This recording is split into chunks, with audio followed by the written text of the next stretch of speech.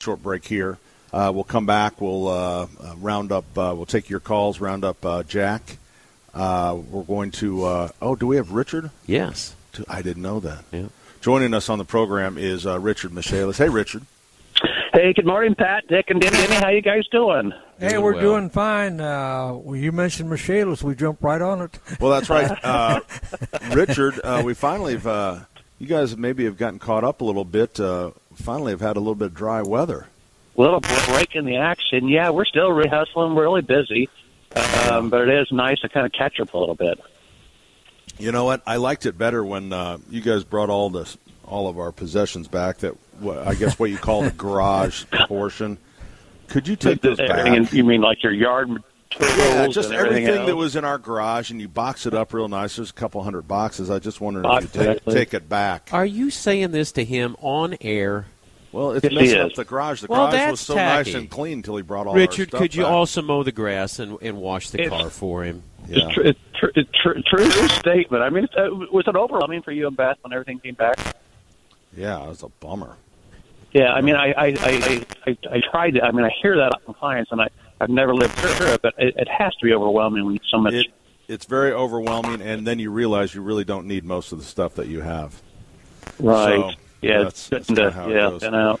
All right, so cold weather uh, right around the corner. People be firing up the furnaces. Uh, you know, it always Uh-huh. scares people when they fire up the furnace and they, you know, what, what is it? They starts burn to the burn. dust burns off the, the heat dust and stuff, and they start smelling that. And Yeah, uh, you know, it's probably everybody should be on some type of a service program with a good HVAC um, contract.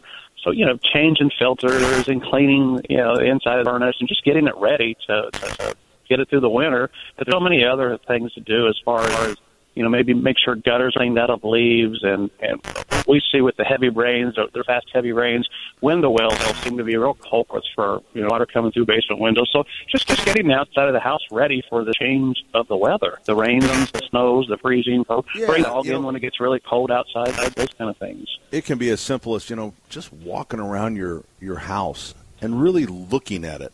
I don't think that- Right. you know, people get so busy, you don't really look. It's like, you know, what's the caulking look like? What's the window look like? Is the is the uh, you know, the door to the crawl space nice and sealed shut? You know, so all right, or things. maybe even or, or maybe even looking in that crawl space. And, and a lot of people still like to use the vent system. So if you're, if you're still using that vent system, close your vents in the winter and, and open them in the in the springtime or the summer. But just get the house ready for the change of the weather. Yeah, and the gutters is a big deal because, you know, if we happen to get the heavy snow where we end up getting ice damming, you know, nothing worse than starting with a clogged gutter. That's going to just make the damage happen faster. And I assume that Michaelis has ended up with some jobs with damage caused by uh, ice damage. Ice, ice dam. I mean, yeah, it takes a certain type of storm for that to occur, but it seems to happen uh, more often than not. And it's challenging because there's not a whole lot I can do other than control the water that's coming through, or you're literally turning off the gutter system or getting on an icy roof, which is dangerous in itself, trying to remove ice and snow from our gutter system. and that's So- why you put the new guys up there. the the young agile ones. So when they hit the ground, That's right. They jump right usually back up on their feet. they, they bounce right back up. Hey, Richard, uh, thanks for spending a little time with us. Uh, it's Absolutely. Michaelis Corporation. They are available for you 24 7, 365. The number 844 Fix Indy. That's 844 Fix Indy. Michaelis Corporation. Construct, renovate, restore. Trump. Clinton. Round two. The next